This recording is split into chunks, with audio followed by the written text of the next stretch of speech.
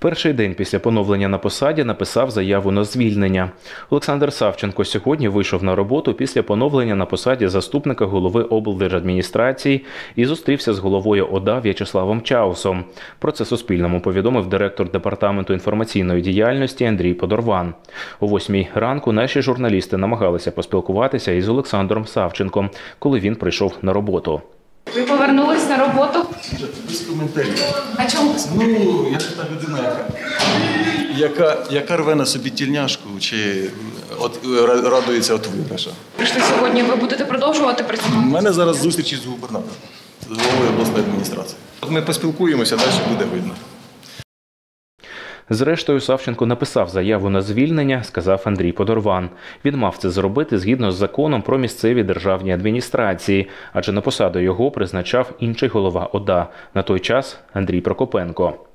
Голова прийняв рішення про припинення повноважень і далі, е, відповідно до законодавства, запускається процедура його звільнення е, з погодженням з офісом президента. Коли ми отримаємо цю відповідь, е, тоді відповідно голова прийме ну підпише розпорядження про звільнення.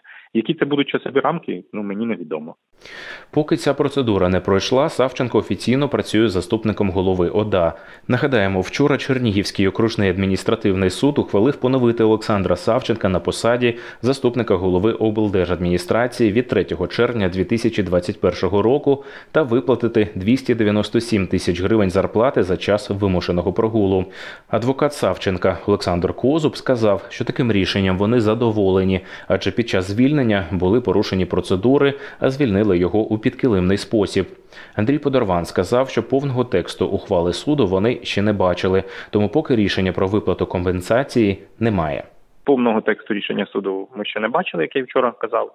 Ось е, коли його отримаємо, вивчимо і будемо розглядати доцільність подання апе- апеляції, оскільки там іде не тільки про поновлення роботи, а ще й щодо там компенсації грошових коштів.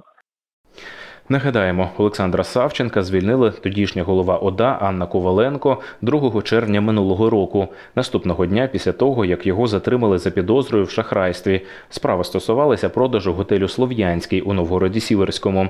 За версією ДБР, Савченко та Роман Кійовський, який представлявся керівником готелю Слов'янський, за винагороду у 160 тисяч доларів гарантував перемогу учаснику відкритих торгів з продажу готелю. А гроші призначалися Савченку, який мав забезпечити відсутність конкурентів на онлайн-аукціоні. Адвокат Кійовського ці звинувачення заперечував. Нині цю справу розглядає Деснянський районний суд на питання, чи позиватиметься він особисто до Анни Коваленко, яка звільнила його. Савченко відповів так. Якщо суд прийняв таке рішення, напевно ж хтось помилився свого часу з прийняттям такого поспішного рішення, так же? Так вибачаюсь.